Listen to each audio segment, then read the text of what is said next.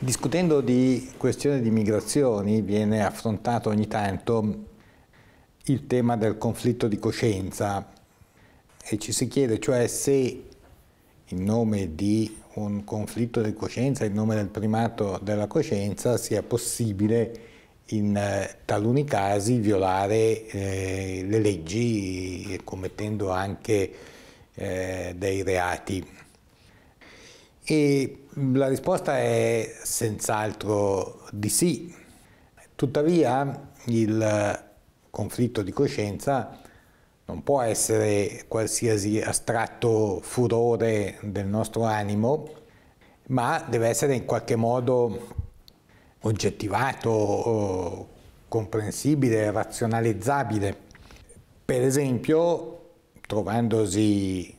ai confini svizzeri durante la seconda guerra mondiale quando lo Stato per eh, comprensibili o meno ragioni di Stato non poteva accogliere tutti coloro che scappavano dalla Germania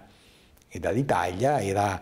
senz'altro possibile violare le leggi e eh, far entrare dei rifugiati, dei profughi e molti lo hanno anche fatto e per fortuna più vicino a noi nel tempo, al momento eh, della crisi cilena, anche lì, quando nell'Europa nella Svizzera avevano un sistema di accoglienza eh, codificato,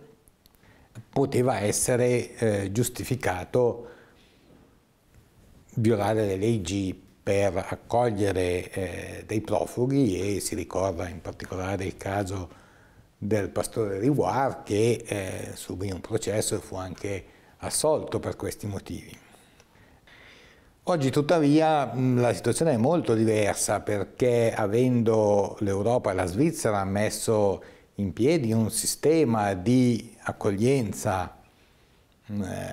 dei profughi molto complicato e complesso che al suo interno presenta non poche difficoltà, ma permette comunque eh, di affermare che una volta che un profugo ha messo eh, piede sul territorio europeo sia in eh, sicurezza. E quindi invocare un conflitto eh, di coscienza per farlo passare eh, contro le previsioni dei vari regolamenti esistenti, da, per esempio dall'Italia alla Svizzera o dall'Italia alla Germania o anche eh, dalla Svizzera alla Germania, non rientra certamente eh, tra i casi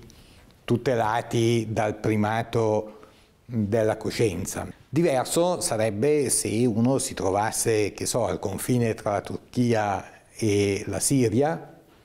dove il passaggio della frontiera rappresenta il passaggio tra l'insicurezza e eh, la sicurezza, spesso tra il pericolo di vita e eh, la possibilità di vivere quantomeno in eh, sicurezza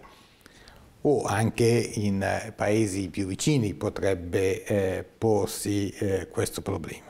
Semmai il primato della coscienza potrebbe essere invocato, qualche volta viene fatto anche a ragione,